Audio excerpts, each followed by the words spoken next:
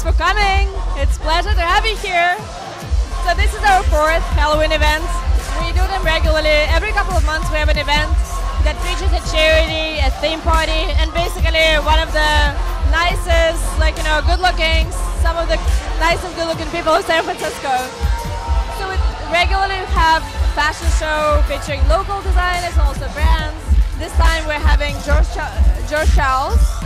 You will see his beautiful collection and beautiful models. Hi, I'm Sarah, and this is Josh, and he designed this entire collection, and he's going to tell us about his inspiration and what it took to get these girls looking as fine as they do tonight. My fall 2014 collection is called Love to Death, and it's really love to death. It shows the story of her life from uh, when she has her funeral for her husband, from when she finds her daughter in a forest, from when she finally finds peace with herself.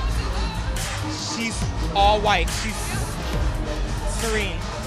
And if you could imagine your models playing any board game, what board game would they be playing?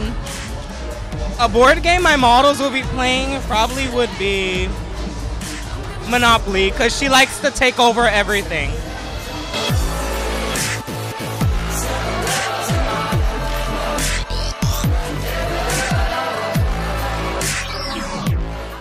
What's your favorite part about modeling? I guess just portraying different characters and kind of working with different people. I love to get inspired. I'm such an artist like all around. So I think just getting inspired and like just meeting new people is probably my favorite. We also have Larkin Street Youth Services on, uh, on board. So we like to feature those local charities, you know, contribute to the community.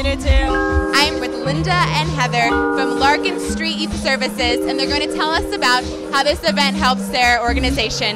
Yeah, so we work with a lot of homeless youth in San Francisco, so this event is really great to get the name out and for and to get people to know more about the work that we do with the homeless youth. I think we have a different way that we look at our youth. We're also involved in a lot of groundbreaking models such as restorative practices, and we really, I mean, I've seen people, we really see the